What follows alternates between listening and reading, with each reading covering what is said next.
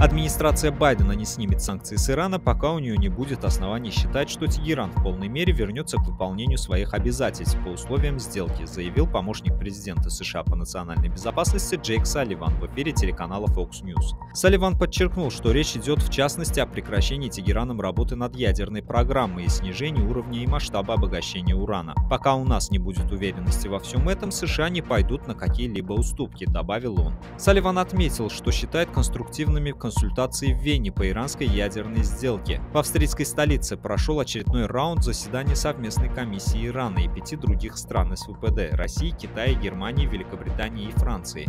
Участники встречи на уровне политдиректоров обсуждали вопросы возвращения к полному соблюдению положений ядерной сделки.